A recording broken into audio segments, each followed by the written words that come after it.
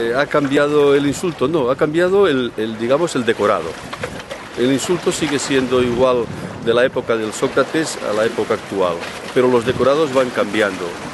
Y luego, de alguna manera, es insulto según, eh, de la forma que se diga, pues a veces eh, parece que sea un elogio, especialmente en Cataluña. Así que no es lo mismo la puta madre que te parió que la puta madre que va a parir. Qué cabrón que he hecho. Paco culiao, Paco conche tu madre, Paco hijos de puta. Paco es el, término que nosotros tenemos despectivo del pueblo de llamar a la policía, ¿no? Que es un mandado, un mandado de, del, gobierno de turno que quiere mandar a reprimir a la gente, ¿no? Y este es un cabrón que no tiene cerebro ni para discernir ni para poder ocupar, digamos, criterios ni nada, ¿no? Si manda a, a, dar palos, no le importa nada más.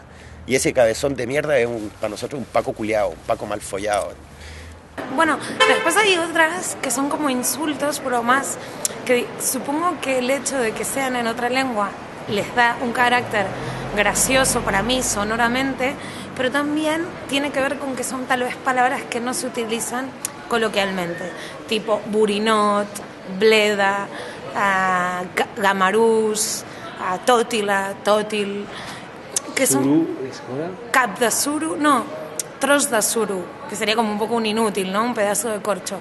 Estos insultos que son más de, de persona, digamos, tonta, tonto, mmm, que no son tan como hijo de puta, ¿no? Que remite como a una cosa de, de casi situación social, ¿no? Son de condición personal. Es un tonto, no lo es, es, es un cobarde, este tipo de insultos y utilizando palabras que para mí son lejanas o que pienso que pueden ser más antiguas o de pueblo, le da una condición de, de, gracia e incluso pueden tener el sentido contrario. ¡Hey, gamarús! Y por ahí te ríes y tiene que ver con, con, con hacer esa broma. Pero originalmente eran insultos, degradaban a esa persona, digamos, ¿no?